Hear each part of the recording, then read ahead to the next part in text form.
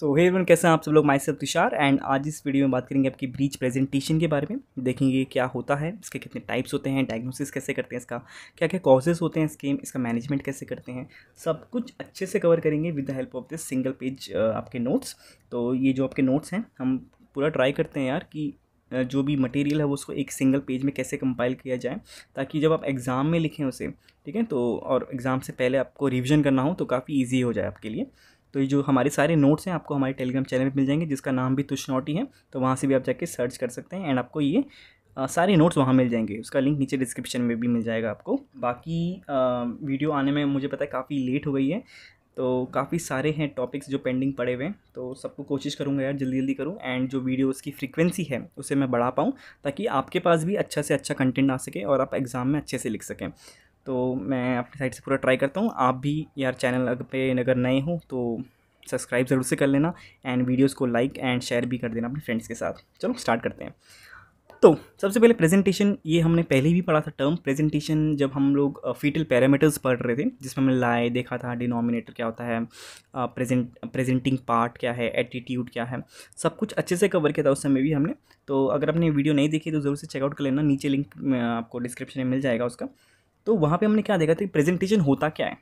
तो अगर सिंपल भाषा में बोलें कि प्रेजेंटेशन क्या होता है, उसका मतलब होता है कि it refers to the part of the fetus body that lead to the way out through the birth canal मतलब बेबी का कौन सा वाला पार्ट है जो बर्थ कैनाल से पहले निकलेगा? ठीक है, कौन सा पार्ट पहले इंगेज हो रहा है? तो उसको हम प्रेजेंटेशन बोलते हैं। एंड उसी का जो टाइप्स होते हैं, उसके तीन टाइप्स थे सिफेलिक आपकी ब्रीच और कंपाउंड तो जो सिफेलिक वाला था आपको बेसिक आइडिया दे देता हूँ क्या होता है। जैसे अभी ये मदर है, ठीक है? इसमें हम अपने जो तीन हमारे बेबीज़ हैं, यहाँ पे हमें हेल्प करेंगे हमें समझाने में कॉन्सेप्ट तो समझो हमने ये बीच वाला बेबी ले लिया। अब इस बेबी में जो नॉर्मली होता है, वो क्या होता है? सिफेलिक होता है, ठीक है? तो सिफेलिक कंडीशन में क्या होता है कि आपका जो हेड वाला पोल है, ये नीचे की तरफ़ होता है तो कुछ इस वे में। तो इसमें प्रेजेंटेशन कैसा हो गया? इसका सिफेलिक प्रेजेंटेशन हो गया। लेकिन अगर ये बेबी उल्टा हो जाए मतलब दिखने में सीधा है, लेकिन अगर उसके फीट या उसके बटॉक्स पहले आ रहे हैं तो this will be called as breech presentation जिसके बारे में हम आज पढ़ने वाले हैं, ठीक है? और एक और होता है कंपाउंड वाला, जिसमें क्या होता है कि उसमें आपके जो हेड है शोल्डर है, ये एक साथ आता है, कुछ इस वे में आता है बेबी तो वो बहुत ही रेयर होता है, ठीक है? तो उसको कभी बाद में पढ़ेंगे, पर आज हम पढ़ने वाले हैं आपकी ब्रीच प्रेजेंटेशन को। ठीक है? तो प्रेजेंटेशन का आप अच्छे से समझ गए होंगे। अगर हरा आपको और जो फीटर पैरामीटर्स हैं, अच्छे से याद करने तो उसका नीचे लिंक डिस्क्रिप्शन में, उसे भी आप चेकआउट कर लेना। तो ये ब्रीच प्रेजेंटेशन है, इसके भी तीन तीन टाइप्स होते हैं। ठीक है? तो सबसे पहले तीन के तीन टाइप्स देख लेते हैं कौन कौन से हैं। तो सबसे पहला है आपका फ्रैंक और एक्सटेंडेड ब्रीच ठीक है? आपको दिख रहा है यहाँ पे? क्या है आपका? Frank or extended breech and this is the most common one इसमें क्या होता है कि baby's buttock are aimed at the birth canal with legs extended straight up in front of the body feet near the head यानी fifty to seventy percent होता है। ठीक है? तो ये क्या बोल रहा है? इसमें हम जो हमारे थ्री बेबीज़ हैं, उसमें से जो सबसे पहला बेबी है दिस वन इसमें क्या बोल रहा है? एक तो बेबी के जो बटॉक्स हैं, ठीक है? बटॉक्स हैं, ये क्या है? Aimed at the birth canal के यहाँ पे हैं। उसके बाद क्या है? इसके जो लेग्स हैं these are extended towards the head ठीक है? आपको दिख पा रहा होगा। एंड इसके जो फीट हैं, वो कैसे हैं? फेस के पास हैं मतलब इसके हेड के पास हैं। तो ये कौन सा है? आपका type this is known as a frank or extended breech extended क्यों? क्योंकि इसके लेग्स एक्सटेंडेड हैं। क्लियर एंड ये fifty to seventy percent cases में होता है। सेकेंड है कंप्लीट और फ्लेक्सड ब्रीच ठीक है? फ्लेक्सड हमें पता चल गया कि मतलब उसने कुछ तो मोड़ा हुआ है फ्लेक्स किया है। दैट इज़ ये वाला बेबी तो इसमें हम देख पा रहे हैं कि आपकी जो ये इसके जो नीज़ हैं, यहाँ से फ्लेक्शन हो रखा है। तो इसमें यही लिखा है कि baby's buttocks are aimed at the birth canal again baby के जो बटॉक्स हैं, वो एम्ड कर रहे हैं आपके बर्थ कैनाल पे। नीज़ आर बेंट ठीक है नीज़ इसमें बेंट हो रखे। And feet are near the buttocks creating a sort of sitting position and उसके पैर कहाँ पे हैं? उसके बटॉक्स के पास ही हैं। एंड ऐसे लग रहा है जैसे बेबी बैठा हुआ है आराम से। ठीक है? तो ये टेन टू से फोर्टी परसेंट केसेज में क्या होता है? ये वाली कंडीशन होती है। This is known as a complete और फ्लेक्सड ब्रीच हमारा जो थर्ड बेबी है ये क्या परफॉर्म करने वाला है? दिस विल बी परफॉर्मिंग आपका फुटलिंग और इनकम्प्लीट ब्रीच ठीक है? आपको देख के पता चल रहा है इसमें क्या हो रहा है। One or both of the baby's feet point downward and will come out first ठीक है? तो इसमें क्या है? आपके जो फीट वाला पार्ट है। ठीक है? या तो एक पैर होगा या तो दोनों पैर होंगे। आपके डाउनवर्ड पोजिशन में होगा। And these will come out first and it is associated with higher risk इसमें काफ़ी रिस्क होता है एंड ये बहुत रेयर होता है फाइव टू टेन परसेंट ठीक है? तो ये है आपका कौन सा condition this is known as a footling or आपका इनकम्प्लीट ब्रीच ठीक है? तो तीनों केस हमने देख लिए। पहला बेबी ऐसा था। ठीक है? सेकेंड वाला बेबी कुछ इस वे में था। ठीक है? इसने अपनी नीज़ को फ्लेक्स कर रखा है एंड थर्ड वाला एकदम सीधा खड़ा हुआ है। ठीक है? तो ये तीन कंडीशन हो गए। तो ये तो हो गया इसके टाइप्स बात करें इसकी अगर कॉजेज़ की, कि ये होते क्यों हैं, ठीक है? ये आपका जो ब्रीज प्रेजेंटेशन है, ये हो क्यों रहा है? तो इसमें सबसे पहला जो रीज़न होता है that is a prematurity ठीक है? More common in preterms baby ठीक है birth since the baby has not had time to turn simple सा क्या बोल रहा है कि ये केस क्यों होता है?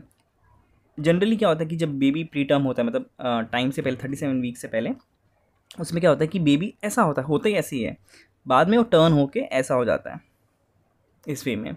लेकिन जब उसको पहले ही बेबी को हम डिलीवर कर देंगे बेबी पहले ही डिलीवर हो जा रहा है तो उसको टाइम ही नहीं मिला टर्न होने का। तो ये पहला कंडीशन है इसका मतलब कॉज है इसका।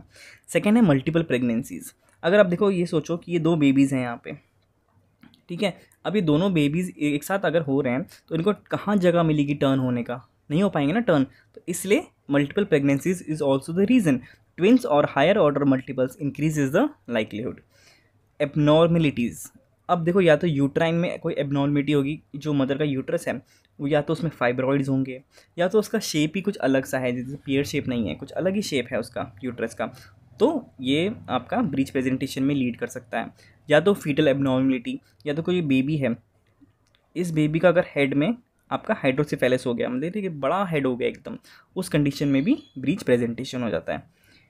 नेक्स्ट है प्लासेंटल इश्यू ठीक है? तो इसमें placenta previa or other low lying placental placements अगर प्लासेंटा का जो पोजीशन है, वो एकदम लोअर पोल पे है एकदम, ठीक है? एकदम जब उसके माउथ पे है तो क्या हो सकता है? उस कंडीशन में भी आपका ये कॉम्प्लिकेशन हो सकता है ब्रीच प्रेजेंटेशन का। एमनियोटिक फ्लूड एबनॉर्मिटी या तो आप एमनियोटिक फ्लूड कम हो दैट इज़ ओलिगोहाइड्रोएमनियस या तो पॉलीहाइड्रोएमनियस मतलब अगर ज़्यादा हो जाए। ठीक है? तो आपका एमनियोटिक फ्लूड अगर कम हो या ज़्यादा हो जाए तो उससे भी कंडीशन पैदा हो सकती है। एंड लास्ट कंडीशन है कि प्रीवियस प्रेगनेंसीज अगर जो मल्टी पैरस वोमेन है, ठीक है, जिसके पहले भी बेबीज़ हो चुके हैं तो उसमें ज़्यादा चांसेस हैं कि उसमें ब्रीच प्रेजेंटेशन हो सकता है। तो ये तो हो गया इसके सिक्स कॉजेज़ अब बात करेंगे हम इसको डायग्नोज कैसे करेंगे? हमें पता कैसे चलेगा कि बेबी सीधे आ रहे हैं उल्टे आ रहे हैं? तो सबसे पहले आप क्लिनिकल एग्जामिनेशन करेंगे, जिसमें आप क्या करेंगे? पैल्पेशन करेंगे। ठीक है? पैल्पेशन करेंगे and by performing Leopold's manoeuvre ठीक है? कैसे लियोपोल्ड्स मैन्यूवर हमने इस पर भी वीडियो सेपरेटली बना चुके हैं। फिर आपके लियोपोल्ड मैन्यूवर्स या उसको फीटल ग्रिप भी बोल सकते हैं। तो उस पर भी आपको लिंक नीचे डिस्क्रिप्शन मिल जाएगा। काफ़ी ईजी एंड प्रैक्टिकल वे में समझा रखा है मैंने। तो आप ज़रूर से उसे चेकआउट कर सकते हैं। ठीक है? तो सेकंड क्या है? हम अल्ट्रासाउंड कर सकते हैं। ठीक है? मोर अच्छा वे है। It confirms the type of breech presentation ठीक है, हमें बता सकता है कि कौन सा वाला ब्रीच प्रेजेंटेशन है पोजीशन क्या है प्लासेंटा का, ठीक है एंड कोई एनोमिलीज तो नहीं है। ये सब कुछ हम इससे देख सकते हैं with help of ultrasound and last आपका pelvic examination that is it helps to identify a breech position by feeling the buttocks or feet instead of the head simple सा आप पेल्विक का एग्जामिनेशन करेंगे तो आपको पता चल जाएगा कि वहाँ पे हेड है, एक अगर सबको सर्कुलर थोड़ा हार्ड फील होगा तो दैट इज़ आपका हेड है वहाँ पे। लेकिन इसके अलावा आपको कुछ भी अलग फील हो रहा है तो it can be a case of breech presentation ठीक है तो ये इसका डायग्नोसिस हो गया। लास्ट इसका हम देखते हैं सेकेंड लास्ट इसका मैनेजमेंट देख लेते हैं कि अगर बेबी हो रहा है ब्रीच प्रेजेंटेशन में, हमें पता चल गया, हमने डायग्नोस कर लिया कि भाई वो ब्रीच प्रेजेंटेशन में जाएगा तो उसको हम क्या क्या कर सकते हैं उसको ठीक करने के लिए। सबसे पहला है आपका ये procedure that is known as external cephalic version जिसको हम क्या बोलते हैं ई सी वी भी बोलते हैं। So it is a procedure attempted at around thirty seven weeks to turn the baby to a head down position इसमें क्या होता है कि हम बेबी ऐसा है, सीधा है, हमें पता चल गया, हमने डायग्नोसिस कर लिया कि बेबी ऐसा आ रहा है। तो हम क्या करेंगे, एक प्रोसीजर होता है जिसके हेल्प से हम बेबी को बाहर से टर्न कर लेते हैं धीरे धीरे ठीक है, ताकि वो अपने नॉर्मल पोजीशन में आ जाए। ठीक क्लियर तो ये क्या हो गया procedure that is known as the external cephalic version next है आपका वेजाइनल ब्रीच डिलीवरी तो सिंपल सी बात है कि इट कैन बी कंसिडर्ड आप चाह रहे हैं कि बेबी ऐसा ही है और एकदम नॉर्मल डिलीवरी हो, पर इसमें क्या होता है कि दो कंडीशन होनी चाहिए। इसमें या तो बेबी फ्रैंक पोजीशन में हो, जैसे ये है। अगर ये पोजीशन है फिर तो हम कर सकते हैं वेजाइनल डिलीवरी अगर ये दो केस हैं, या तो ये हो गया, ठीक है, आपका फ्लेक्स्ड ब्रीच ये आपका इनकम्प्लीट है फुटलिंग ब्रीच इस केस में तो हम वेजाइनल डिलीवरी नहीं करा सकते। लेकिन अगर हाँ ऐसा केस है तो इसे हम कर सकते हैं एक बार के लिए। बेबी ज़्यादा बड़ा ना हो, ठीक है is not too large and अगर जो हेल्थ केयर प्रोवाइडर जो कर रहा है ये आपकी डिलीवरी वो काफ़ी एक्सपीरियंस होना चाहिए, ठीक है। तब हम जा सकते हैं आपकी वेजाइनल ब्रीच डिलीवरी के लिए। एंड फाइनली आपका जो प्लान्ड सीजेरियन सेक्शन है, सबसे इजी मेथड होगा इसके लिए कि आप often recommended to minimise risk associated with breech breech vaginal deliveries particularly with footling or complete breech presentation it reduces the risk of trauma to the baby and complications like cord prolapse. ठीक है तो सबसे easy method है कि आप directly season section के लिए जाएँ एंड आपकी जो भी, ये आपके जो दिक्कतें आएँगी, ये सब नहीं आएँगी उसमें। क्लियर इसके बाद भी आ, कुछ कॉम्प्लिकेशंस हो सकते हैं इसमें। क्या क्या हो सकते हैं? तो आपका सबसे पहले कॉर्ड प्रोलैप्स सिंपल सी बात है कि भैया क्योंकि अगर बेबी इसमें में आ रहा है ठीक है? तो इसमें लिखा भी है कि it's more common footling breech presentation तो क्या हो सकता है कि इसमें कॉर्ड के प्रोलैप्स होने के बहुत चांसेस हो जाते हैं ठीक है? क्योंकि पैर की तरफ़ से आ रहा है ठीक है? तो ये बहुत डेंजरस हो सकता है। सेकंड कोई बर्थ इंजरीज हो सकती हैं। क्योंकि अनयूजुअल वे है तो इसमें आपके बेबी का फ्रैक्चर हो सकता है या उसके कोई जॉइंट्स के डिसलोकेशन हो सकते हैं। ठीक है तो ये सब चीज़ें हो सकती हैं इसमें।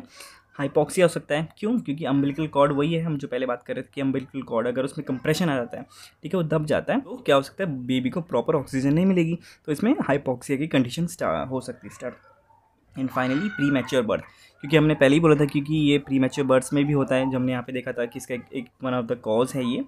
तो इसमें जो बेबीज़ होते हैं, वो प्री मैच्योर होते हैं प्री टर्म वाले होते हैं, तभी ये ब्रीच प्रेजेंटेशन होती है।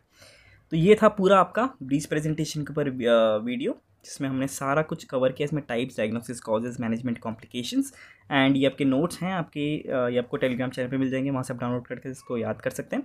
बाकी तो अगर कोई डाउट है तो नीचे कमेंट सेक्शन में जो से पूछ सकते हैं। वीडियो आपको कैसे लगी? एंड आपको हमारे घर एफर्ट्स अच्छे लगे। ये तीन बेबीज़ बहुत बड़ी मुश्किल से बनाए मैंने, ठीक है?